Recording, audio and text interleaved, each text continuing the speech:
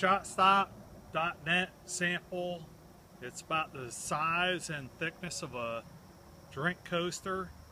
It's uh, certified to NIJ National Institute of Justice Standard 3A, which is certified up to a 44 Magnum. And I'm going to shoot this right now. Got my 44 here.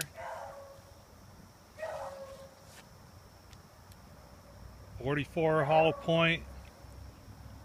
I'm going to shoot it practically point blank range. Here we go. Got it? Yep.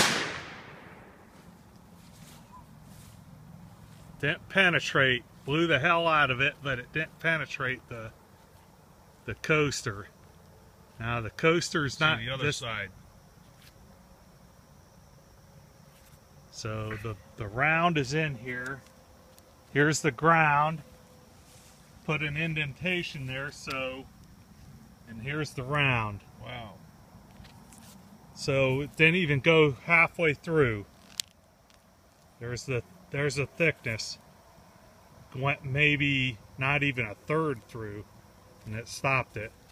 Left the indentation about oh maybe a half an inch or so.